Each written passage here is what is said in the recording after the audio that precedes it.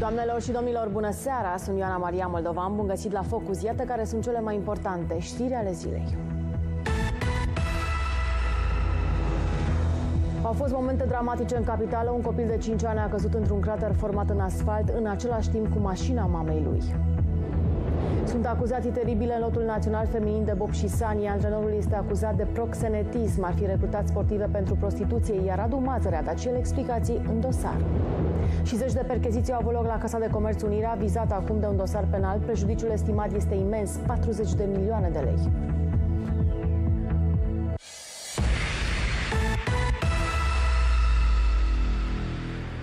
Scenă de coșmar în această dimineață în capitală. Un copil de 5 ani a căzut într-un crater în momentul în care asfaltul s-a surpat sub picioarele lui. Mama disperată a sărit în groapă și a reușit să-și scoată copilul nevătămat. Cei doi se aflau lângă mașină în momentul în care asfaltul le-a fugit la propriu de sub picioare. Drumul ar fi cedat în momentul în care o autoutilitară a firmei de salubrizare a intrat în curte. Intervenția autorităților a durat mai bine de șapte ore. Atenție, urmează imagini și informații care vă pot afecta emoțional.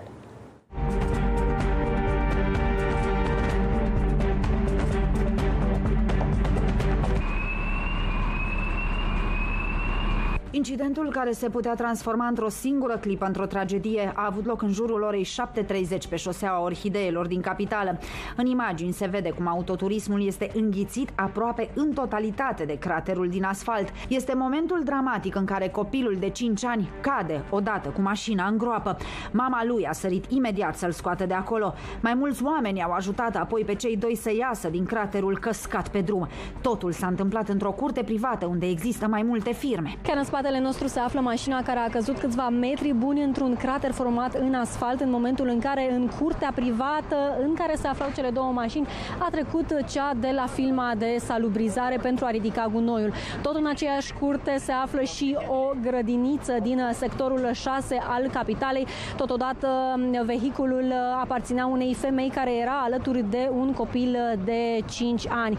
Pe terenul pe care s-a întâmplat totul în anii 1989 se afla de altfel fabrica de țigarete din sectorul 6 al capitalei. Mașina care aparține firmei noastre de salubrizare a venit să ridice deșeurile de la aceste firme care sunt, se găsesc în această, în această incintă. În același timp, din partea opusă, paralel, a oprit un BMW, o doamnă, care a venit să-și aducă copilul la grădiniță în timpul ăsta s-a surpat strada. Terenul s-a surpat deasupra unei conducte de utilități, unde au mai avut loc lucrări de-a lungul timpului.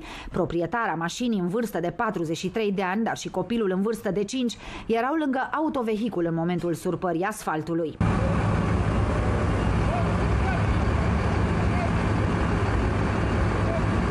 Trei persoane s-au autoevacuat până la sosirea pompierilor. Două dintre acestea au fost asistate medical la fața locului, uh, nefiind necesar transportul la spital. Intervenția a fost una complexă. Acolo au ajuns mai multe echipe de polițiști, pompieri, un echipaj smurd, două macarale, dar și mașini speciale pentru scoaterea autoturismului din crater, fără a le avaria și mai mult. Mai bine de șapte ore au durat intervențiile autorităților pentru a putea scoate ambele autoturisme din craterul format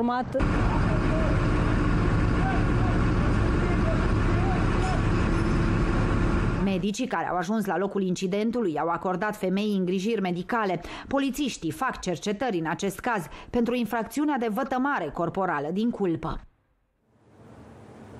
Un alt accident grav a avut loc tot astăzi în capitală, în pasajul Lujerului din sectorul 6. O mașină a zburat peste parapet și a căzut de la 5 metri înălțime la intrarea în pasaj, chiar pe linia de tramvai. Bărbatul care era la volan a reușit să iasă singur din mașină, iar apoi a ajuns la spital pentru îngrijiri. El ieșise din parcarea unui centru comercial, apoi a intrat pe spațiul verde, a lovit gardul de protecție al pasajului, după care mașina a căzut pe plafon. Polițiștii vor afla curând cauza concretă a accidentului. Din primele informații este posibil ca șoferul să se fi șicanat în trafic cu altă mașină. Traficul auto și circulația tramvaiului 41 în zonă a fost întreruptă mai bine de o oră. Judecătoarea care a judecat inițial dosarul accidentului de la 2 mai și care a întrebat dacă este în sală și băiatul ucis în accident, a fost sancționată de Consiliul Superior al Magistraturii. Despre ce sancțiune este vorba, vă spun imediat în jurnal.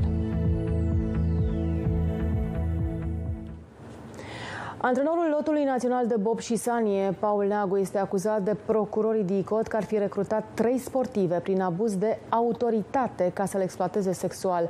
Mai precis, el le-ar fi obligat să se prostitueze. Individul este acuzat de trafic de persoane și alte infracțiuni grave. În dosar este prezent și fostul primar al Constanței, Radu Mazăre, care are calitatea de martor. Două percheziții domiciliare au fost făcute astăzi la Constanța. Colegul meu, Viorel Matei, a urmărit subiectul. Bun găsit tuturor! Procurorii spun că timp de șase ani, între 2013 și 2019, antrenorul a recrutat trei sportive în scopul exploatării sexuale prin obligarea la practicarea prostituției. Le-a adăpostit pe victime în incinta din spatele meu, care aparține unui centru sportiv din Constanța și apoi le-a transportat în țară și în străinătate, în Germania, în Monaco și în Letonia, pentru practicarea prostituției. Antrenorul le-a spus sportivelor pe care le-a racolat că dacă vor întreține relații sexuale cu un anumit tip de oameni, oameni oameni de afaceri vor obține bani și alte servicii pentru ele sau pentru lot, cât și influență în societate. În acest dosar este anchetat și un cetățean libanez are și cetățenie română, este patronul unui restaurant libanez din Constanța. Libanezul a oferit gratuit câteva spații de cazare proprii sportivelor din lotul național de bob și sanie le-a impus ulterior cheltuieli fictive de cazare și de masă. El a efectuat plăți reprezentând sponsorizări, fiind principalul beneficiar al serviciilor sexuale la care au fost obligate victimele. Potrivit unor surse judiciare, antrenorul nu a fost găsit deocamdată, iar cetățeanul libanez se află în prezent la Dicot, București. Atât deocamdată de aici. La revedere! Casa de Comerț Unirea, care trebuia să fie o piață de desfacere pentru micii producători români, este vizată de un dosar penal. Polițiștii din capitală și din alte 12 județe au efectuat mai multe percheziții în cursul zilei de astăzi. Anchetatorii vorbesc de un prejudiciu de peste 40 de milioane de lei. Proiectul a început în 2019 cu o investiție de aproape 100 de milioane de lei din bani publici, dar în loc să promoveze producătorii români, comercializa mai multe produse de import. Procurorii Direcției Naționale Anticorupție au efectuat percheziții în capitală și în alte 12 județe, vizată fiind Casa de Comerț Unirea. Potrivit anchetatorilor, prejudiciul depășește 40 de milioane de lei. La Casa Unirea au fost anumite sesizări făcute de AGA, că în momentul acela am luat decizia să trimit corpul de control în verificare pentru că erau sume alocate prin uh, Casa Unirea de peste 50 de milioane de lei și neîncasate de la trei societăți comerciale. Corpul de control al Ministerului Agriculturii a scos la iveală faptul că anul trecut Casa Unirea a facturat mărfuri în valoare de aproape 80 de milioane de lei, însă a încasat doar 26 de milioane. Astfel au rezultat facturi neîncasate în valoare de aproximativ 53 de milioane de lei. Din aceștia, 45 de milioane de lei sunt de la trei societăți comerciale. Am și încredere în organele de cercetare penală să-și facă treaba și îmi doresc foarte mult ca banii publici să se cheltuie eficient și Casa Unirea, prin acel raport de inspecție fiscală și prin măsurile luate de organele de cercetare, Ministerul Agriculturii și Casa Unirea să recupereze banii de la aceste societăți comerciale.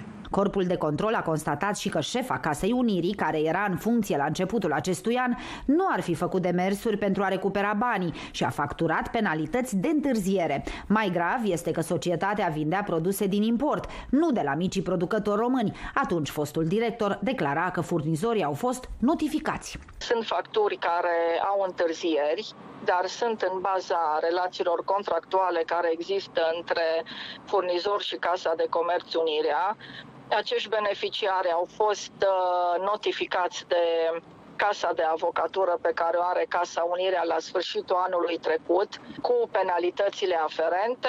La câteva luni de la control, ea a fost schimbată din funcție. În ultimii cinci ani, Casa Unirea a avut opt șefi. Casa Unire a fost înființată de Ministerul Agriculturii în 2019 cu o investiție de 93 de milioane de lei.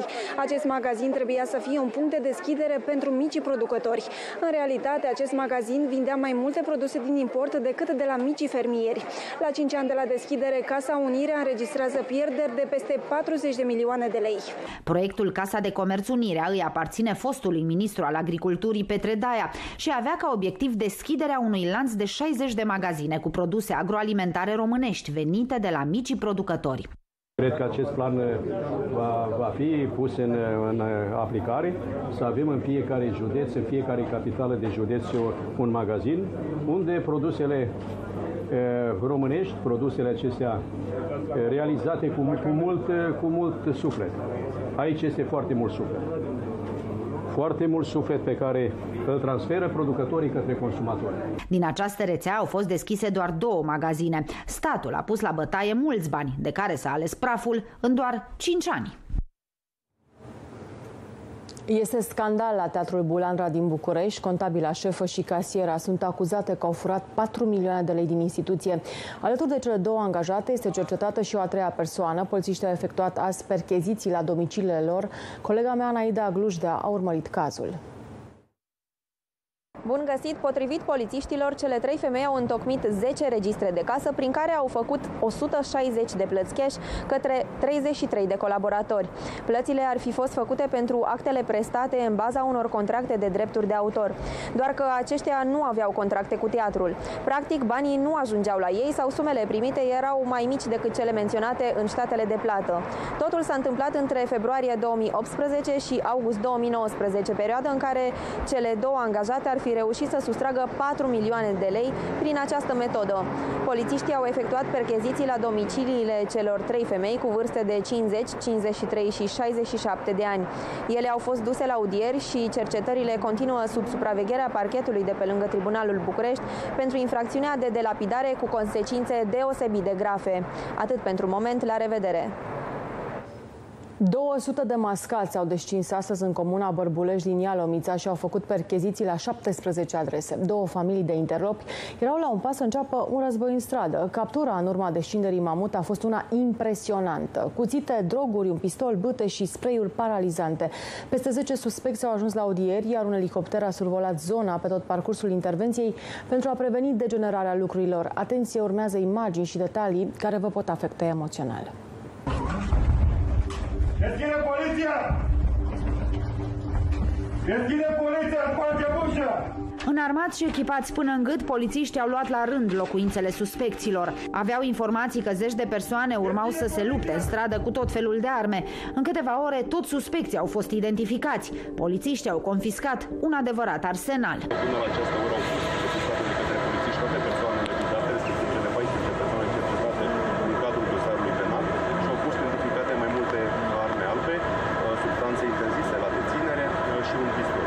Obișnuiți cu astfel de acțiuni unde totul poate degenera într-o secundă, cei peste 200 de polițiști și jandarmi au avut un ajutor din aer.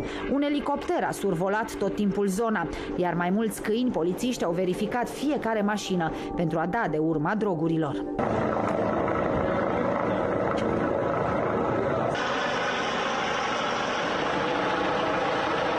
Este a doua razie de mare amploare în județul Ialomița în această lună. La începutul lui octombrie, două clanuri și-au reglat conturile în stradă, în Țăndărei și atunci, ca și acum, au fost găsite mai multe tipuri de arme. În urma descinderilor de la Bărbulești, 14 suspecți au fost duși la audieri.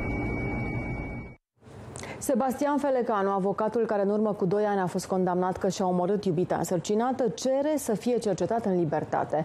Momentan este în arest la domiciliu, deși a primit inițial o pedepsă de 23 de ani de închisoare, pe care a contestat-o. În ciudra probelor strânse de anchetatori care arată că a fost vorba de o crimă, nu de o sinucidere, bărbatul nu recunoaște fapta.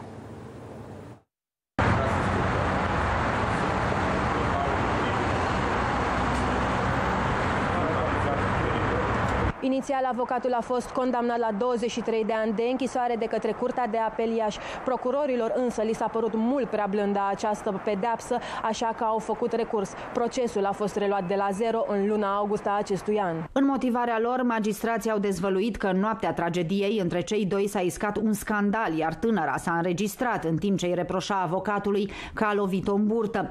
Până când acesta va primi o decizie definitivă, trebuie să stea în arest la domiciliu, pentru că se consideră consideră nevinovat. A cerut să fie cercetat în libertate. În momentul de față, Sebastian Felecanu așteaptă să-i fie judecată măsura uh, preventivă. Știm că este în arest la domiciliu, o măsură cel puțin curioasă, care a fost dispusă în cele din urmă tot de către instanța din spatele meu, de către înalta curte. Una dintre probele invocate de Sebastian Felecanu în apărarea sa a fost o urmă de pantof pe pervazul geamului de la bucătărie. S-a constatat tot așa pe bază de expertiză științifică, deci pe bază de știință, nu de vorbe, că acea urmă este într-o uh, lipsă sau să spunem că nu are nicio legătură de cauzalitate cu uh, ceea ce spunea Felecanu în timpul audierilor, că s-ar fi urcat Monica Ceată cu piciorul acolo și ulterior s-ar fi aruncat. Rudele victimei sunt devastate și spun că arestul la domiciliu este o pedeapsă mult prea blândă. Închisoare pe viață, asta merita.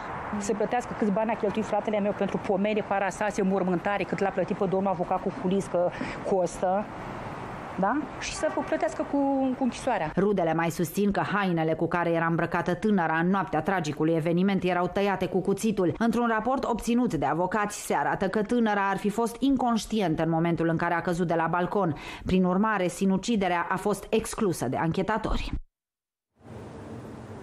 Ancuța Popovici, judecătoarea din primele înfățișări în procesul lui Vlad Pascu, a fost suspendată din funcție pentru trei luni. Consiliul Suprem al Magistraturii a luat această decizie pentru săvârșirea mai multor abateri disciplinare, nerespectarea în mod repetat a termenelor de judecată, întârzierea soluționării dosarelor din motive imputabile și exercitarea funcției cu rea credință sau gravă neglijență. Neregulile au fost sesizate încă din luna februarie de la prima înfățișare în procesul lui Vlad Pascu. Apoi judecătoarea a renunțat la dosar și s-a mutat la judecătoria Constanța. Decizia CSM poate fi contestată în 15 zile la înalta curte de casație și justiție. A fost a doua zi de pelerinaj la Iași, la moaștele Sfintei Parascheva. Aproape 30.000 de oameni au trecut până acum prin fața raclei așezată în curtea Catedralei Metropolitane. Pentru câteva clipe de rugăciune, pelerinii au stat în picioare ore întregi. Unii au venit de la sute de kilometri departare cu credința că Sfânta le va împlini dorințele.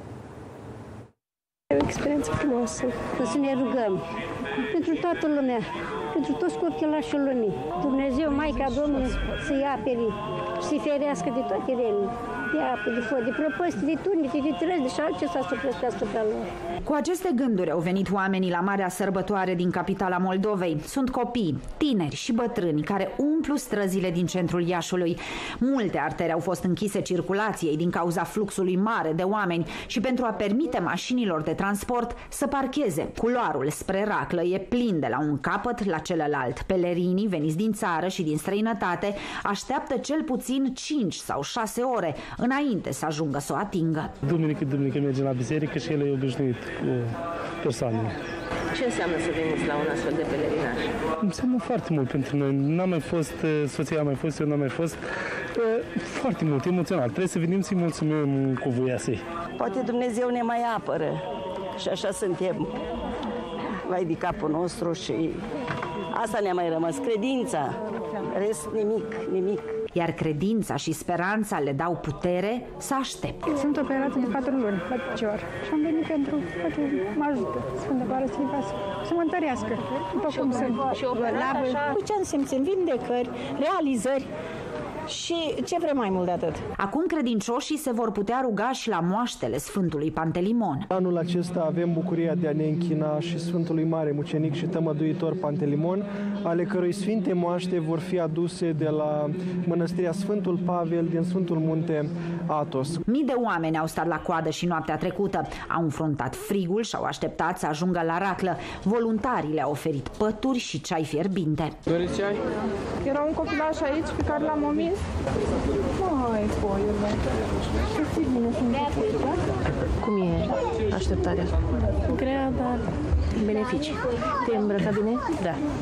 Ai mâncat? Acum bei și un ceai cald? Da. Ai mai fost vreodată la Sfânta Fiestă Parascheva? Da. Și de ce vii de obicei? Ca să mă ajute pentru școală, pentru ce am nevoie. Luni, pe 14 octombrie, este hramul Sfintei Parascheva, cea mai importantă zi a sărbătorii. Din acest motiv, Inspectoratul Școlar Iași a decis să dea liber tuturor elevilor și profesorilor din județ. Criza forței de muncă din România lovește grav chiar în domeniile esențiale, așa cum este serviciul de sănătate publică. Doctorii se plâng că asistenții medicali care ajung în spitale sunt din ce în ce mai slab pregătiți și există riscul ca viața oamenilor să fie pusă în pericol. Managerii de spital spun că sunt nevoiți să aloce resurse importante pentru a-i forma pe debutanți înainte să le dea pe mână îngrijirea pacienților critici. Numărul mare de școli private și legislația permisivă ar fi motivele pentru care noi, asistenții, ar fi atât de slab pregătiți. Odată angajați în unitățile medicale, debutanții sunt puși în situația în care trebuie să îngrijească bolnavi, dar potrivit medicilor, ei nu știu ce au de făcut. Sunt situații uh, realmente care uh, stârnesc, uh, să zic așa, intrigă și stârnesc hazul sau hazul între ghilimele, pentru că nu te bucuri în momentul în care un coleg sau un viitor coleg nu uh, pronunță corect uh, o tulburare de ritm sau face o confuzie majoră între diferite tulburări de ritm sau uh, face o confuzie majoră în administrarea unei doze de medicament, Uh, care poate să fie uh, letală. Există două tipuri de școli care formează asistenți medicali. Acestea sunt de stat și private. În municipiul Botoșani, spre exemplu, nu mai există nicio astfel de unitate de învățământ a statului. Toate cele trei sunt private. Profesorul uneia dintre aceste școli pune la îndoială modul în care Spitalul Județean din Botoșani face angajările. Referitor la gradul de pregătire al asistentului medical care termină o școală posicială sanitară. Nu vreau să fiu răutăcios, dar întreb, oare se referă la asistenții care au fost angajați în ultimii ani la Spitalul Județean? Știu că au fost niște descinderi DNA pe acolo în legătură cu acești angajați. În ultimele luni, ca să rezolve problema deficitului de personal, Spitalul Județean Mavromati din Botoșani a scos la concurs zeci de posturi pentru asistenți medicali debutanți. S-a observat, de exemplu, faptul că uh, au fost uh, posturi care nu au fost, uh, au fost candidați respinși cu 8-70 sau 60 Uh, și au fost de asemenea posturi în care na, s-au fost respinși cu unul și dar în momentul în care au peste 5, pot să opteze astfel încât posturile se ocupe. Înseamnă că este un candidat care dă dovadă de cunoștințe minime, urmă, dar și de definitiva în prin practică. Reprezentanții asistenților susțin contrariul. Ei spun că notele mici ar fi acordate din cauza comisiilor de examinare, mult prea exigente cu candidații. Întrebările adresate acestora nu ar avea legătură cu materia obligatorie. Nu că aș avea ceva cu asistenții care au studii postliceale, dar în ultimii ani s-a reclamat faptul că un asistent, asistentul cu studii superioare nu era primit la examen.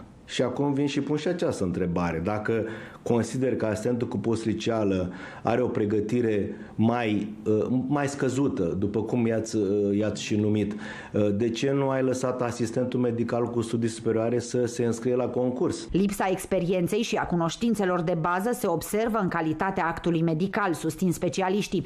Iar acum localnicii simt pe pielea lor care e diferența între un asistent experimentat și unul proaspăt angajat. Da, așa este. Este mult mai slab pregătit față de generațiile trecute. Care da. credeți că ar fi explicația? Cred că nu învață. Asta e explicația. Lipsesc de la mă rog, cursurile care le fac.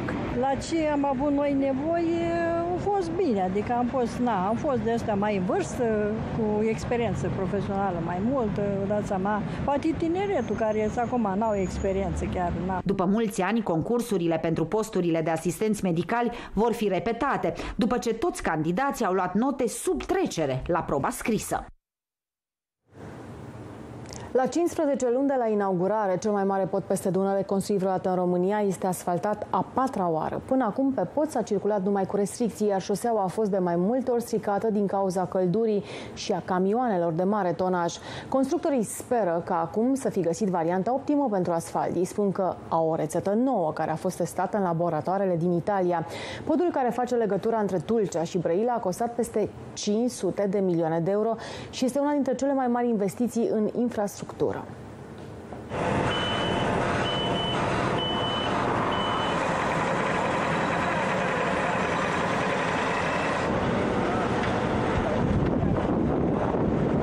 se, se ia probe de mixtură asfaltică pentru a fi testată în laborator. În acele ligheane, Faceți da? verificări mai departe. Da. În lighenele roșii stă salvarea Golden Gate-ului de România, așa cum a fost supranumit podul dintre Tulcea și Brăila. De când a fost deschis, problemele s-au ținut lanț, când pe un sens, când pe celălalt. Au apărut defecte la structurile metalice, ori fisuri în asfalt. Treptat fisurile s-au transformat în gropi, iar muncitorii au cârpit și au reparat. De câteva luni, sensul Tulcea-Brăila a fost închis, iar circulația a fost deviată pe sensul opus. Din august se circulă cu restricții de viteză, iar ceea ce trebuia să fie un proiect măreț a devenit o povară pentru autorități.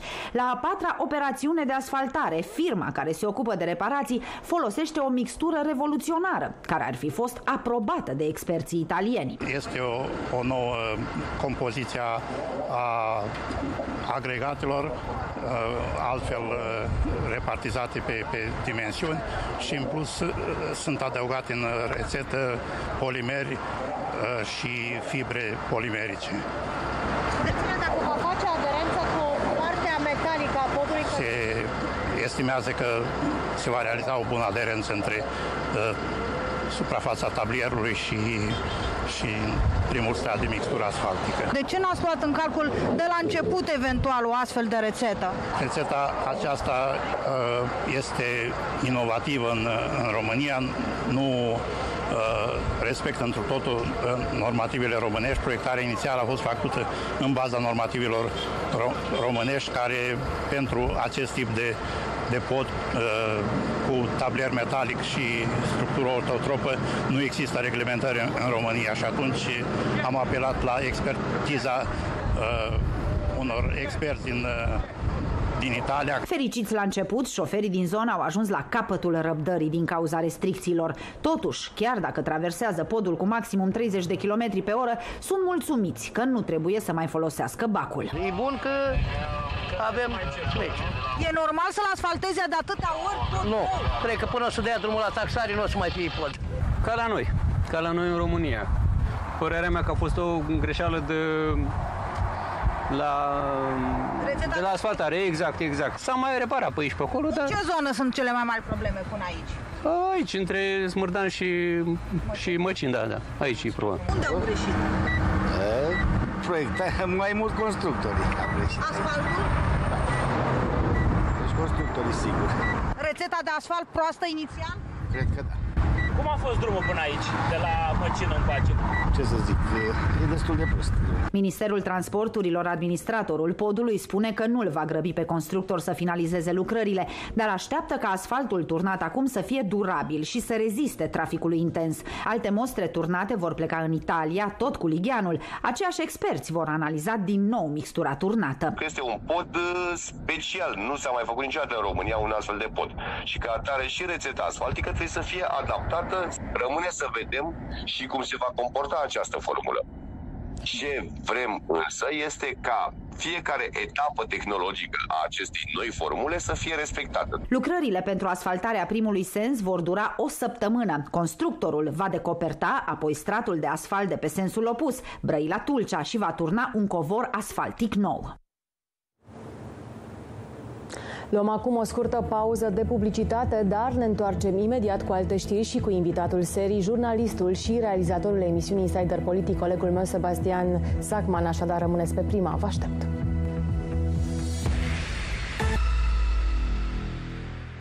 Am revenit, iar în platoul Focus se află jurnalistul și realizatorul emisiunii Insider Politic, colegul meu Sebastian Zagman. Bine ai revenit, uh, Sebastian. Pe ultima 100 de metri, dar oamenii buni ajung acolo unde trebuie. La țanc, Îți, la țanc și la fix. Aș vrea să vedem uh, și să discutăm ce se întâmplă pe scena politică. Uh, doamna Șoșoacă, de exemplu... Ei, uite, ea n-a mai ajuns la țanc. la, la Cotroce, exact. Nu s-a... Era greu să ajungă la, la Palatul Nici măcar n-a reușit să se înscrie în cursă, nu? Exact, a ajuns până la Biroul Electoral Central, apoi până la Curtea Constituțională și apoi a fost uh, eliminată din cursă și aici se naște o discuție largă și amplă despre decizia decizia Curții Constituționale, pentru că, uh, pe de o parte, dacă privim strict politic, da, Diana Șoșoacă putem să spunem că e un personaj, un politician periculos pentru România. Uh, am văzut imediat în mesajele pe care le-a publicat pe Facebook, în live-urile sale interminabile de pe rețelele de socializare, uh, o Diana Șoșoacă complet antisemită, antisemite, e împotriva uh, oricărei reguli din societate, împotriva NATO, împotriva, împotriva organizațiilor internaționale din care, din care facem parte, însă, din punct de vedere juridic, oricât ai contesta-o politic pe Diana Șoșoacă, juridic vorbind, e o decizie foarte periculoasă a Curții Constituționale pentru că a eliminat din cursă un candidat pe motive subiective, aș spune, și pe o majoritate fragilă acolo la Curtea Constituțională. Au fost doar 5 voturi pentru. Din nou, sigur, uh, două, doar două doamne de la CCR s-au opus, două au lipsit și asta e o discuție. Cum să lipsești de la Curtea Constituțională când ai cea mai importantă decizie de din ultimii 5 ani? Exact. Vorbim aici de alegerile prezidențiale și despre candidații la Poate alegerile au lipsit motivat.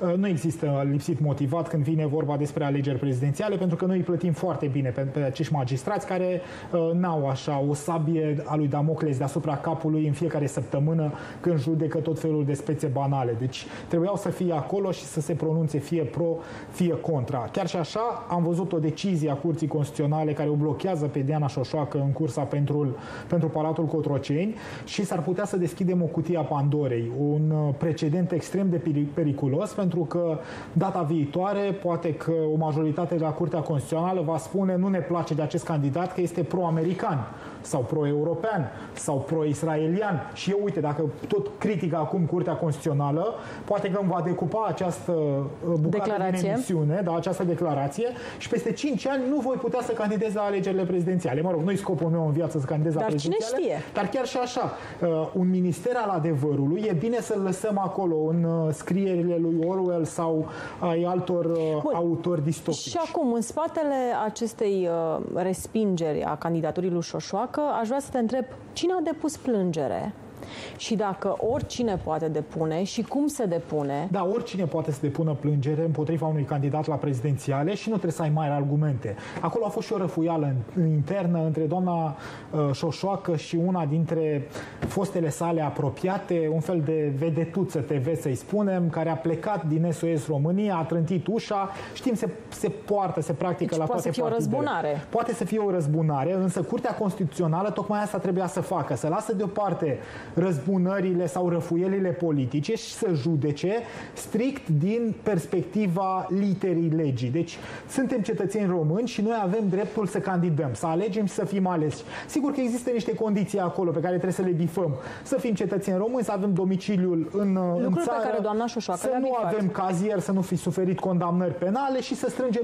200.000 de semnături. E bine, Curtea Constituțională trebuia să bifeze toate aceste lucruri uh, de formă mai degrabă, să nu intre pe fondul de declarațiilor politice și să o lase pe Diana Șoșoacă să candideze. Așa intră o democrație. Atenție!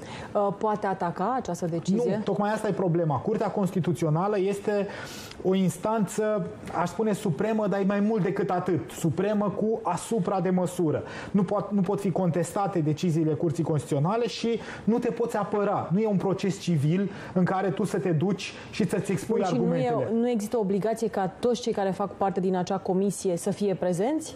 Nu, nu există nici această obligație, ai nevoie de quorum, deci au fost Înțeles. jumătate uh, din numărul uh, judecătorilor și, și apoi s-a votat și la fel a fost un vot de 5 la 2 cu acei doi absenți. Deci uh, există aceste tare ale democrației. S- repet, Trăim într-o democrație și frumusețea democrației tocmai asta este. Să punem la linia de start pentru cea mai importantă funcție în stat un pro-rus, un pro-american, un european convins și, nu știu, unul care, un candidat care visează la o chină măreață sau un agnostic, un ateu și un uh, ultra-credincios și un alb, un negru și un asiatic. Deci tocmai asta îți oferă democrația, șansa de ca indiferent de culoarea pielii, etnie, religie, să te afișezi la linia de start. Și oamenii să apoi, aleagă. cu votul lor, să aleagă, sigur, am preferat pe baza argumentelor. Curtea Constituțională uh, se comportă, s-a comportat de fapt așa ca un model preferat al Dianei Șoșoacă.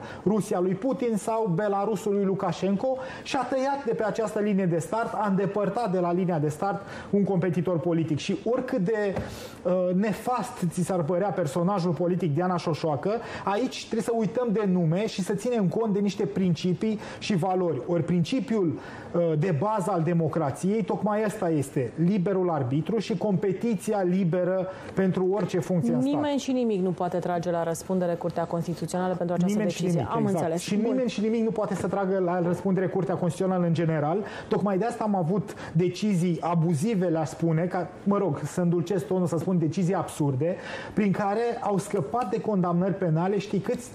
5.000 de... Aici e o mare problemă. Da, au fost închise 5.000 de dosare pe baza unor interpretări date de Curtea Constituțională. Și au scăpat politicieni, evident, oameni de afaceri, proxeneți, da, uh, dar și vameși, pădurari și alte categorii sociale, oameni uh, pentru care nu conta legea. Era mai presus fără de legea în sistemul din lor păcate, de valori. Din păcate. Unde merg acum voturile Dianei Șoșoacă? O, foarte complicată întrebarea asta. Depinde pe cine întreb. Cei de la PSD îți vor spune... Către noi. Uh, nu, tocmai. Îți vor spune Ah. se disipează voturile. Pentru că presiunea acum foarte mare, de fapt, presiunea politică este pe Partidul Social Democrat. De ce?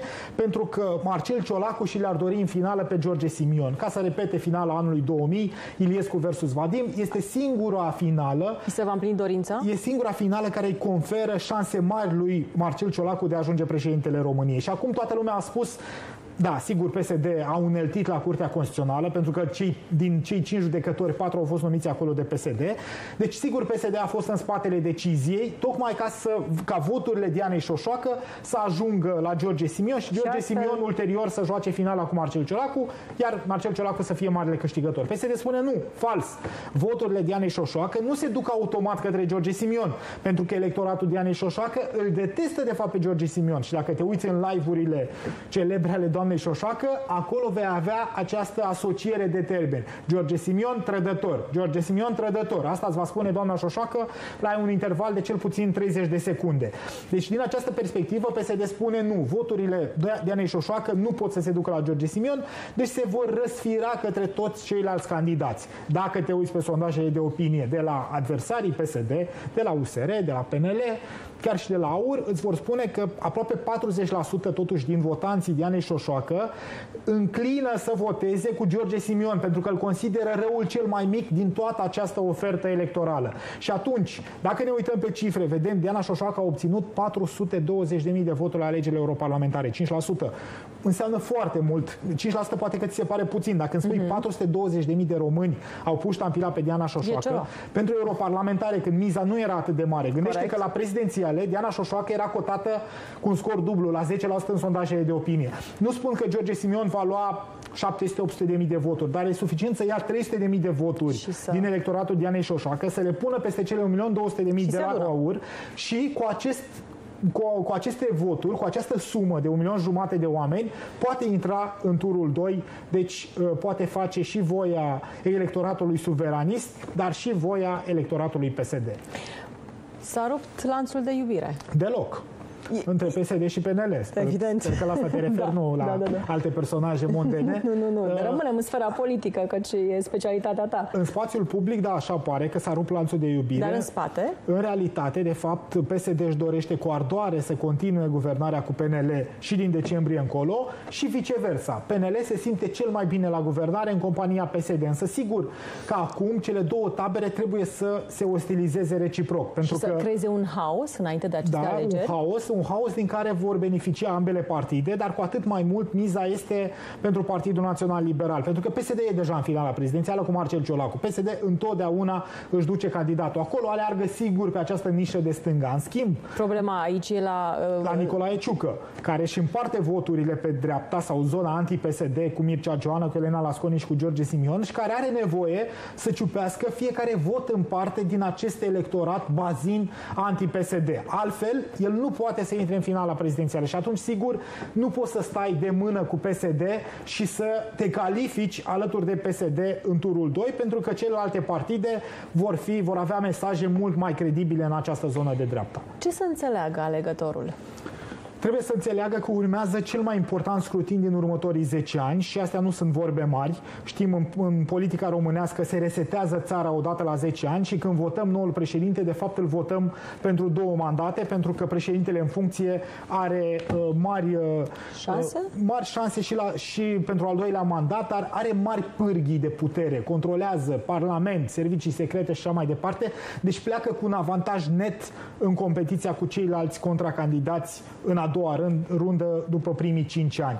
Și în al doilea rând trebuie să mai înțeleagă oamenii că acel clișeu pe care îl aud de obicei la televizor, că fiecare vot contează, e bine, de, de data aceasta va conta fiecare vot mai mult ca niciodată. De ce spun asta? Pentru că niciodată în România n-am fost pus, n-am fost puși în situația uh, unei lupte atât de strânse pentru turul 2. Avem un candidat în finală, dar care va intra cu un scor nu foarte mare, 20 deci, ceva la sută. Ciolacu merge sigur da, în finală. cu 20 ceva la sută și în cealaltă parte, pentru celălalt loc din finală, se luptă patru candidați care acum sunt umăr la umăr. Mircea Joana, Nicolae Ciucă, Elena Lasconi și George Simion. Și aici, când ești la, când te separă doar marja de, ora, de eroare a sondajelor de opinie, pentru unii și de oroare, ă, atunci, într-adevăr, fiecare vot va conta. Deci s-ar putea ca un turul 2 să intre un candidat, Marcel Ciolacu, cu 22, 23, 25% și celălalt candidat să intre fie cu 16% sau poate cu 17-18%. Deci lupta va fi pur și simplu la baionetă și diferența va fi una infimă între candidatul care se califică pe locul 2 în finala prezidențială și toți ceilalți care ratează de fapt turul 2.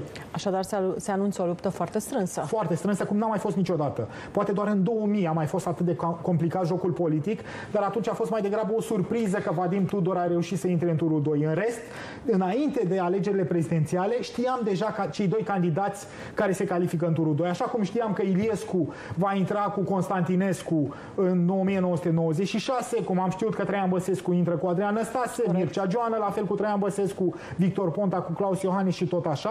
Astăzi nu știm cine vor fi candidații din finala prezidențială. Bun, și atunci te întreb. PNL vine și acuză PSD că e în spatele deciziei CCR, ceea ce tu ai da. și spus uh, în ceea ce privește pe Diana Șoșoacă. Marcel Ciolacu vine și vorbește despre depunerea mandatului dacă PNL nu renunță la guvernare. Da, e un joc psihologic, de fapt, pe care îl fac cele două partide. Uh, PNL știe că nu poate să iasă de la guvernare, pentru că aleșii locali au nevoie să fie în continuare conectați la resursele publice, la robinetul cu bani de la Ministerul Dezvoltării mai exact spus. Uh, pentru că PNL se bazează foarte mult pe forța aleșilor locali. Dacă primarii nu se mobilizează în campanie pentru Nicolae Ciucă, e greu ca domnul Ciucă, din postura de candidat liberal, fără o carismă aparte, să se califice pe forțe proprii acolo în finală cu Nicolae Ciucă. Și atunci liberalii, sigur, forțează foarte mult nota, spunându-le pesediștilor, noi ieșim de la guvernare și vă lăsăm pe voi să decontați totul. Însă și PSD are calculele sale extrem de pragmatice și spune, da, vreți să ieșiți la guvernare? Nicio problemă. Eu, Marcel Ciolacu, demisionez în secunda 2.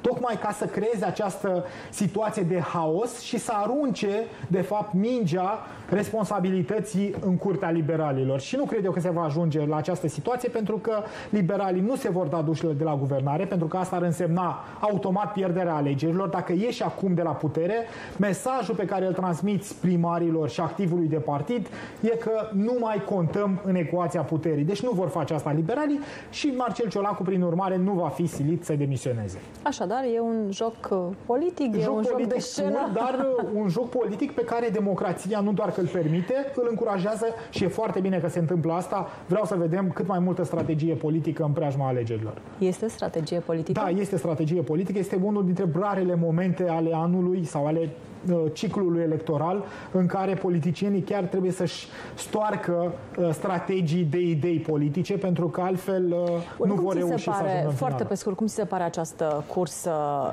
și mă refer aici la candidații care intră în, în cursă pentru Cotroceni?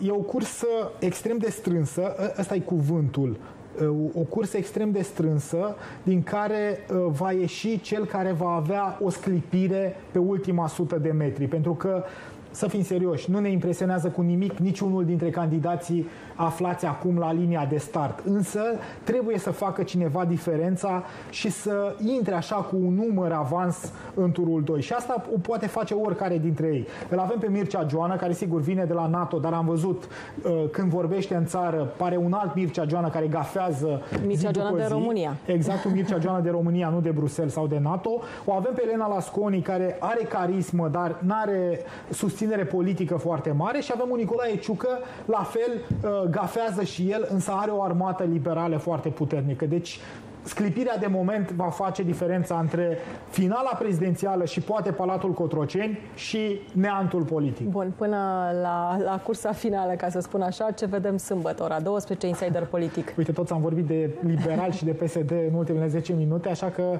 vine un personaj Uh, chiar de acolo, din coaliția de guvernare. Rareș Bogdan va veni la Insider Politic.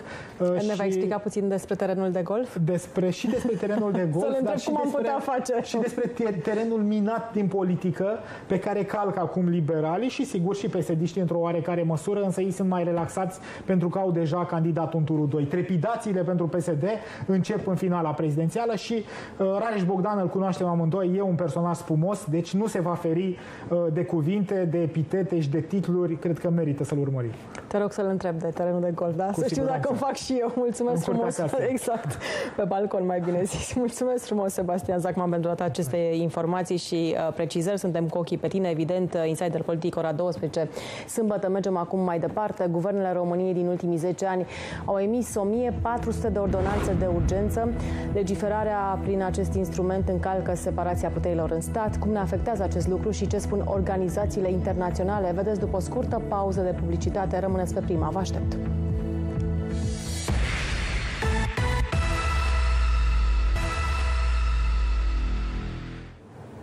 Guvernul României a adoptat anul acesta 116 ordonanțe de urgență și până la finalul anului numărul acestora este de așteptat să crească. Nu este o noutate, este un trend care se menține de mai mulți ani, indiferent de partidele care au guvernat. Prin acest instrument, guvernul își impune forța asupra Parlamentului și încalcă astfel separația puterilor în stat. Vorbim de mii de legi care au fost schimbate pe repede înainte. Organizațiile internaționale atrag atenția că dacă este folosit în mod abuziv, acest instrument poate slăbi democrația democrația. Ordonanța de urgență ar trebui să fie un act normativ emis de guvern în situațiile extraordinare pentru care nu există timp de dezbatere în Parlament. În România, ordonanța de urgență s-a transformat într-un instrument al guvernului pentru a-și impune agenda politică. Importante modificări legislative au loc prin intermediul acestor ordonanțe. Unele au fost atât de revoltătoare pentru societatea civilă încât au generat proteste în masă. Cele mai mari manifestări post-decembriste au pornit de la o astfel de ordonanță celebra ordonanță 13 din 2017.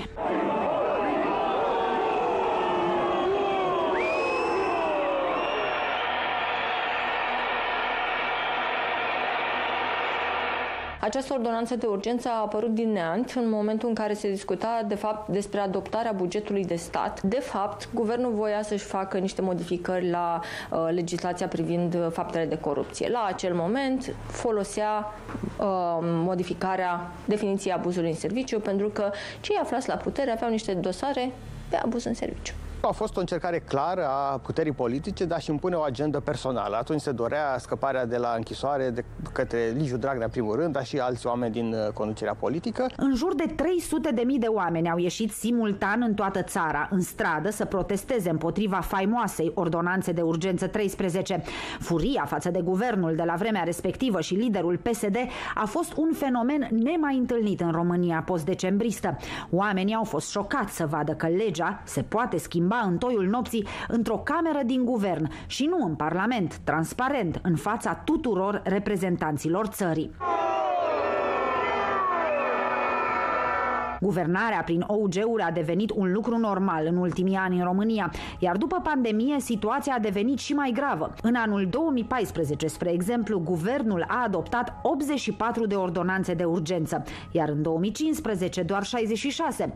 În anii 2017 și 2018, numărul ordonanțelor de urgență a depășit 100, iar în 2020, în pandemie, a trecut de 200. De atunci, guvernele care au condus România au folosit constant ordonanțele ordonanțele de urgență, ba chiar au inclus într-o singură ordonanță zeci sau sute de modificări legislative. Din 2014 până în prezent, guvernele României au adoptat în jur de 1400 de ordonanțe de urgență. Numărul lor ridicat a atras atenția organizațiilor internaționale. Comisia Europeană, în primul rând, în rapoartele anuale privind statul de drept, atenționează constant asupra excesului de ordonanțe de urgență. Mai nou, de când România dorește să intre în OECD, această organizație a făcut analize privind uh, mediul legislativ din România și din nou avertizează asupra ordonanței de urgență. Guvernul încearcă să aibă un rol care domină într-un fel Parlamentul. Chiar și în situații precum cea de acum, atunci când un guvern are o majoritate cât se poate de confortabilă în Parlament, uh, cei de la guvernare preferă să dea aceste ordonanțe de urgență. De ce? Pentru că în felul acesta evită o parte de transparență, o parte de dezbatere și eventualele amendamente care ar putea veni în mod legitim prin intermediul Parlamentului. Asta înseamnă că separația puterilor în stat este des încălcată. Prin ordonanțele de urgență, guvernul își sporește atribuțiile legislative, iar Parlamentul ajunge o cameră secundară. Acum, cu o singură ordonanță, guvernul poate schimba zeci, poate chiar sute de legi. Celebrele ordonanțe de urgență trenuleț, unde se schimbă codul fiscal, se schimbă tot ce înseamnă partea de taxe, impozite, impozite și lucruri din care guvernul își ia niște bani în plus la, la buget. Uh, iar acolo nu e nicio problemă să avem ordonanțe de urgență. Uneori chiar între Crăciun și Anul Nou. Acest lucru s-a întâmplat chiar anul trecut în decembrie. Într-o singură ordonanță lungă de zeci de pagini, guvernul a stabilit cu cât vor crește salariile bugetarilor, cum vor crește salariile profesorilor, că se suspendă angajările la stat și că scade tichetul Rabla pentru mașinile electrice. Sunt doar câteva exemple din întregul document. Instrumentul principal de legiferare a devenit ordonanța, ordonanța simplă pe durata vacanței parlamentare și ordonanța ordonanța de urgență în timpul sesiunilor parlamentare, pentru că dacă le adăugăm și pe cele simple, uh, numărul crește exponențial. Unele sunt determinate de pură incompetență. Noi am făcut acum câțiva ani o analiză pe ordonanțe și am văzut că peste 30% sunt ordonanțe de tipul a venit termenul să facem ceva ce scrie în lege, n-am făcut și dăm o ordonanță de urgență ca să extindem termenul. Acest lucru, spun specialiștii, se întâmplă de multe ori cu directivele europene, adică acele legi care sunt decise la nivelul Uniunii Uniunii, dar pe care România trebuie să le transpună de una singură în legislația sa. Efectele ordonanțelor de urgență se simt în toate domeniile. În anul 2011, Parlamentul adopta o lege prin care guvernul trebuia să aloce anual 6% din produsul intern brut pentru finanțarea educației. De atunci, la fiecare început de an, legea a fost amânată printr-o ordonanță de urgență. Și haosul de pe piața energiei a fost cauzat tot de ordonanță de urgență. Un exemplu care a mâniat foarte mult uh, mediul de afaceri și a condus la plecarea unor firme mari din țară, în zona de energie, este plafonarea prețurilor la energie. A fost tot așa trecut prin ordonanță de urgență, apoi guvernul și-a dat seama că a greșit și nu o dată, ci de cinci ori. Deci în interval de șase luni a emis șase ordonanțe de urgență pentru a corecta erorile din uh, prima ordonanță. Exemple de genul ăsta avem nenumărate. Din cauza ordonanței care a plafonat și compensat prețul la energie, energie, Enel a părăsit piața din România și EON caută să-și vândă operațiunile și astfel de schimbări legislative importante sunt adoptate lunar de guvern și multe dintre ele trec neobservate, deoarece sunt ascunse în zecile de pagini ale unei ordonanțe. Cel puțin șapte oameni au murit în urma unui atac israelian asupra unui bloc din capitala Siriei care ar fi vizat o locație folosită de membrii Hezbollah. Netanyahu anunță că armata sa l-a eliminat și pe succesorul lui Hassan Nasrallah și că nu se va opri până nu va destructura toată organizația. De altfel, premierul israelian a amenințat că Libanul ar putea avea aceeași soartă ca și fâșia Gaza.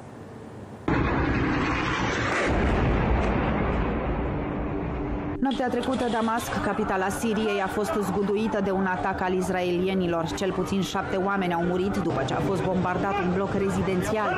Armata izraeliană spune că acolo s-ar fi ascuns teroriști Hezbollah. Nu este pentru prima dată când același cartier este lovit.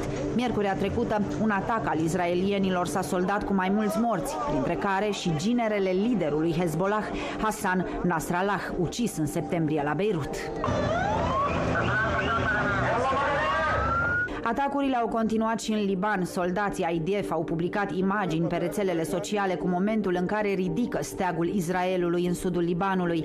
Anterior, în același foc fusese arborat steagul iranian. Benjamin Netanyahu a anunțat că succesorul lui Nasrallah la șefia Hezbollah a fost eliminat. We've degraded Hezbollah's capabilities.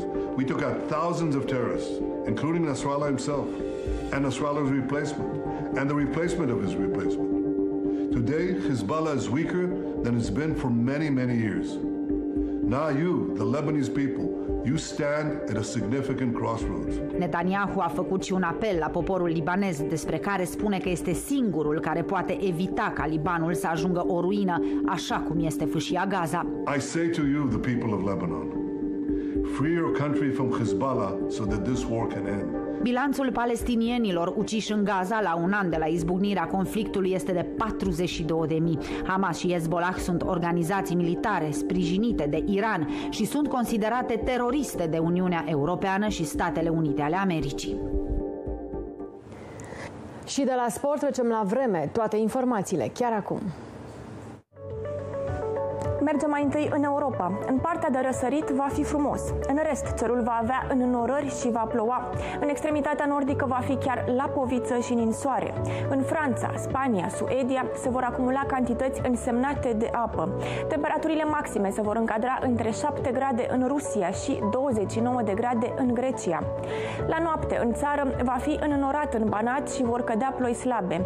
În rest, cerul va fi senin, iar minimele se vor situa între 0 grade la Miercurea Ciuc și 15 grade la malul mării. În depresiuni vor fi condiții de brumă, iar local în centru, est și sud va fi ceață. Mâine se menține vremea caldă. Va ploua în partea vestică, la Oradea, Timișoara, Drobeta. Pe arii restrânse vor cădea câțiva strop de ploaie și prin Maramureș și Transilvania. Mercurul din termometre va urca până la 26 de grade la București. 25 vor fi și în Sibiu și Brașov.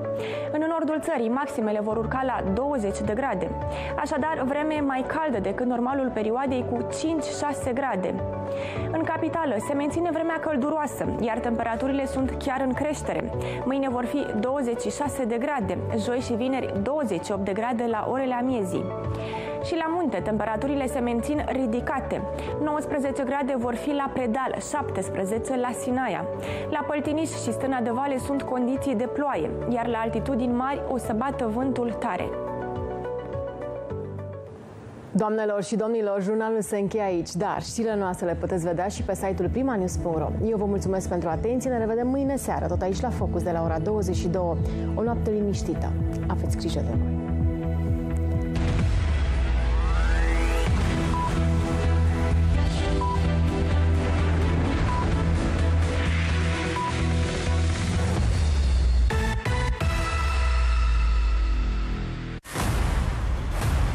Disponibil pe primaplay.ro